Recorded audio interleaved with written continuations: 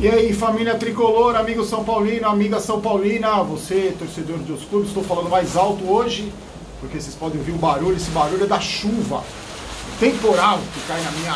Nossa senhora, que cai na minha casa aqui hoje, no começo da noite da quinta-feira, um dilúvio caindo em casa. Pelo menos por enquanto não teremos latidos do falho. Bom, é, tudo bem com vocês? Bem-vindo a mais um vídeo. Hoje não faço ideia que dia, que acho que é dia 14 hoje, 13 ou 14, quinta-feira. Muita gente comentando aí sobre o negócio do Osório, que surgiu essa informação. Não é uma informação, surgiu um rumor aí que o São Paulo também estaria interessado no Osório, daqui a pouco eu vou falar disso. Antes, é, queria agradecer vocês o número de visualizações e comentários do último vídeo. Agora estou gravando o vídeo em pé, vocês já perceberam que eu não paro quieto, parece um... um e muita gente comentou, é, falou sobre a cobrança do Raí. Caramba, meu. Tá dando pra ouvir aí? Vem. Vou falar mais alto do que o normal. Todo mundo falou da cobrança do Raí, virou até meme. E muita gente estava dizendo que o Raí falou, Cavaleiros, por gentileza, poderiam oferecer um futebol melhor para os torcedores? Cobrança em novembro. Então é isso aí. É, os jogadores aprovaram a cobrança. O Bruno Alves falou que tem que cobrar. O, Pablo disse que não é culpa do Diniz, o atual momento do time. Disseram que era um, um problema de é, coletivo, não era individual. Então e aí surgiu hoje informações que o São Paulo estaria é, vendo o Osório, que é técnico do Nacional, que saiu do São Paulo para treinar a seleção do México, né? É, que o São Paulo estaria interessado nele, que foi um dos poucos que, que fez um trabalho razoável. Aliás, ele e o Balsa foram os únicos dois que não foram demitidos dessa cambada de técnico meia boca que o São Paulo contratou nesses últimos anos. O Balsa e o Osório foram os únicos que não foram demitidos que saíram para treinar seleções. O, Paulo, o Osório chegou em 2015, em maio de 2015, estreou contra o Grêmio, uma vitória por 2 a 0. Depois ele foi embora em 6 de outubro, deixou o comando para treinar a seleção do México. Olha a campanha do Osório, vê o que você acha. 28 jogos pelo São Paulo, 12 vitórias, 7 empates e 9 derrotas. Teve um aproveitamento de 51,1%. É um aproveitamento baixo, mas se você for comparar com os outros técnicos horrorosos eu não vou nem falar a lista aqui para não me aborrecer, é um desempenho um dos melhores e só sair podia ter feito um trabalho melhor se tivesse ficado. Quero saber a sua opinião. Para mim, eu já cheguei à conclusão que o problema não é treinador, pode colocar o Guardiola se não mudar presidente, direção, aquilo que a gente está cansado de discutir, a fome do time, a alma, que não tem nem fome nem alma esse time, pode trazer o Pepe Guardiola, que junto com o Mourinho e auxiliado por quem se quiser aí pelo Klopp, que não vai adiantar nada se não mudar essa mentalidade dos jogadores do São Paulo. Então, tô de olho também. O São Paulo ele esquece, não vem. Diz que vai, deve renovar com o Santos, tem outros times interessados que vão pagar, pagariam muito mais que o São Paulo. Por falar em dinheiro, o São Paulo está desesperado porque não recebe do River Plate a, a quantia da venda do, pa, do pa, Prato. São é, mais ou menos uma dívida de 18 milhões o São Paulo eles atrasaram o pagamento, o São Paulo acionou a FIFA, eles atrasaram outro pagamento, o São Paulo vai acionar a FIFA. O, esse valor de 18 milhões que o River ainda deve pelo Prato, que continua jogando normalmente pelo River. Só para você lembrar, o, o Prato está tá devendo 18 milhões no Prato, o Volpe custa 20. Então, São Paulo correndo atrás de dinheiro aí. Por falar em dinheiro, vocês viram a história do Pinotti, que era o diretor de futebol? O São Paulo gasta 350 mil reais por mês com o Pinotti. Caramba, isso foi um raio, hein? Meu Deus do céu, até diminuiu a luz. Pra vocês verem que eu não estou mentindo, hein? Falei de dívida do São Paulo, caiu até raio. Ó, o, São, o Pinotti é, é, emprestou 13 milhões para o São Paulo para trazer o Centurion, lembra dessa roubada? Outra roubada aí. É, e aí, o que aconteceu? O São Paulo deve 8 milhões para ele, está fazendo, tá, paga por mês, 350 mil reais por mês, mais do que gasta com o Anthony de salário.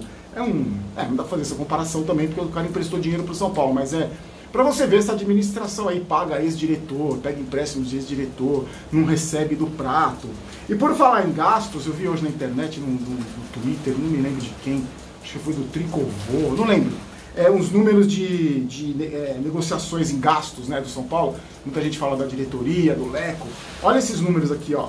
O São Paulo gastou 13 milhões e meio no Diego Souza, que fez 12 gols no Campeonato Brasileiro de 2018 e foi dado de graça para o Botafogo.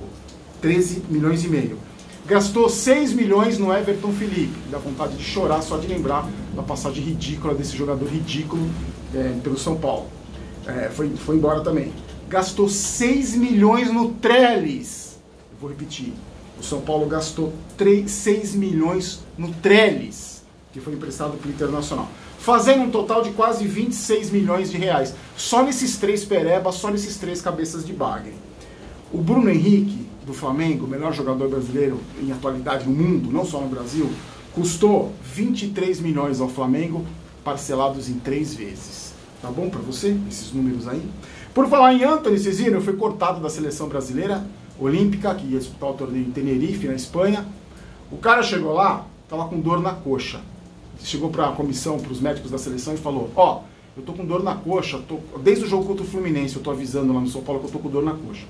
Fui cortado. Então o que aconteceu com o Anthony? Ele sentiu dor na coxa contra o Fluminense e avisou os médicos do São Paulo. Jogou outro jogo contra o Atlético o jogo inteiro. Ninguém fez nada. Viajou 12, 14 horas para a Espanha, chegou lá, nem treinou, que os caras mandaram ele embora para se tratar. Pegou mais 14 horas de avião para voltar. Falar o que da comissão do Departamento Médico do São Paulo? O cara disse que estava com dor para eles aqui e no outro jogo jogou o tempo inteiro. Falar o quê? A gente fala, a gente reclama de diretoria, reclama de médico, ah, mas não pode cornetar, tem gente que não gosta que falem aqui cornete, né? Então é isso. Por falar em boletim médico, muita gente pergunta para mim do Toró, o Toró está à disposição. Se o Diniz quiser, pode colocar o Toró depois que teve lesão muscular, pode colocar o Toró na vaga do Anthony, que, que não jogaria mesmo se tivesse bem, porque tomou o terceiro cartão amarelo. E sobre o Rojas e o, e o Everton, os dois já só no ano que vem. O Everton já postou foto de férias, acho que está com as filhas, não sei. Já estão se tratando para o ano que vem. O Rojas mais de um ano parado, o Everton machucado fica mais no estaleiro do que joga não se recupera, os médicos não recuperam. São os mesmos problemas e depois você, você não acredita por que, que o São Paulo está nessa situação, né? Olha aí, só o que eu falei, dívida do prato, é um negócio do, do da dívida com o Pinote, é, as negociações desses, dos cabeças de bar custaram mais que o, que, o, que, o, que o Bruno Henrique, então o departamento médico, o Antônio estourado, e aí você vê por que, esse time está na situação que está. Tudo tem uma explicação, não é por acaso. Não é só trocar treinador, entendeu? Você vê o que eu, que eu tô chegando nessa conclusão? Não é apenas, não se trata apenas de, de trocar de treinador. Ó, São Paulo tem uma tabela dificílima aí tentando o G4, com 11% de chance de chegar ao G4. Olha os próximos jogos do time, ó. Pega o Santos na Vila Belmiro, o Ceará fora, o Vasco no Morumbi. Depois o Grêmio fora, lá na arena do Grêmio, confronto direto, o Internacional no Morumbi e o CSA é, no Pelé. Então, uma parada dificílima. Eu não acredito, eu acredito em G6, G7. E olhe lá, porque não vai conseguir. Não conseguiu até agora, não vai.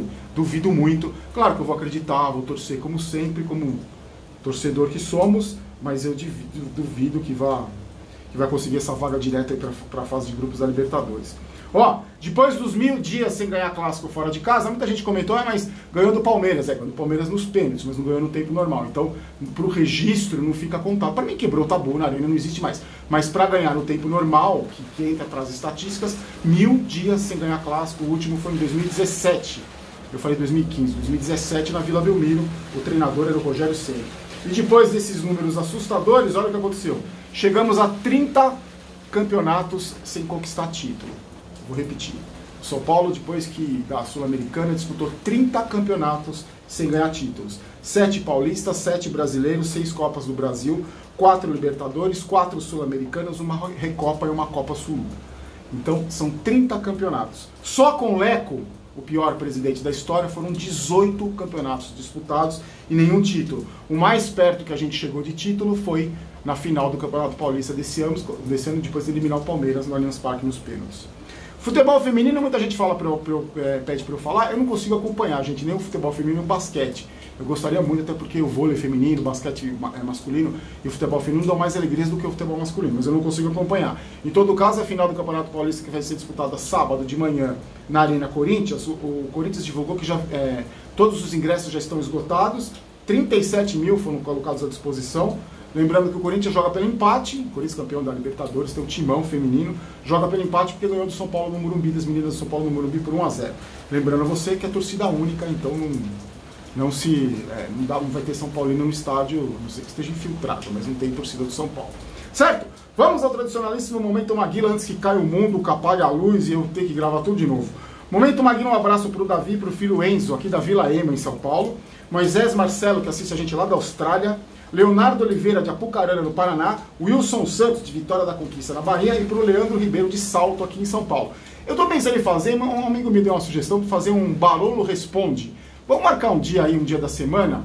O e-mail, meu e-mail está aí na, na descrição do vídeo. Manda sua pergunta aí, sei lá também, se, se a ideia for boa, não sei também. Se vocês falarem, ah, não, não precisa, eu não faço. Se não, vocês mandam uma pergunta por e-mail, e aí é mais fácil de eu selecionar, e um dia a gente marca aí uma, sei lá, quarta-feira, aí eu faço um barulho responde que vocês quiserem saber aí, tá bom? Eu acho isso meio. Ah, vocês que decidem aí.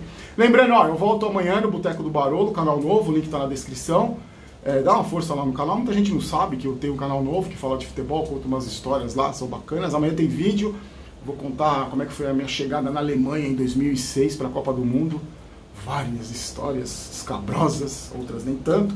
Confere lá, tá na descrição, tá bom? Lembrando que esse foi um vídeo, foi um patrocínio Bodog, o site de apostas mais legal que tem. Eu volto sábado, depois do jogo contra o Santos. E domingo o pessoal do Mesa Redonda me convidou para ir lá de novo. É só assim, só me não convida em roubada, só quando tem clássico. E o pessoal do Resenha me convidou para ir lá na segunda-feira, vou gravar, vai no ar na terça-feira. Mas isso a gente conversa depois com mais calma, tá bom? Fiquem com Deus, uma ótima quinta-feira para vocês. Sexta também é feriado para vocês, que são sortudos, para mim não. Trabalho normalmente, daqui a pouco estarei em ação. E fiquem com Deus. A gente se encontra depois do jogo contra o Santos. Só eu que estou preocupadíssimo com esse jogo ou vocês também?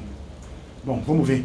Lembrando sempre que aqui não é Vai São Paulo, aqui é Vamos São Paulo. Eu não quero ter razão, quero ser campeão. Fique com Deus, forte abraço. Tchau.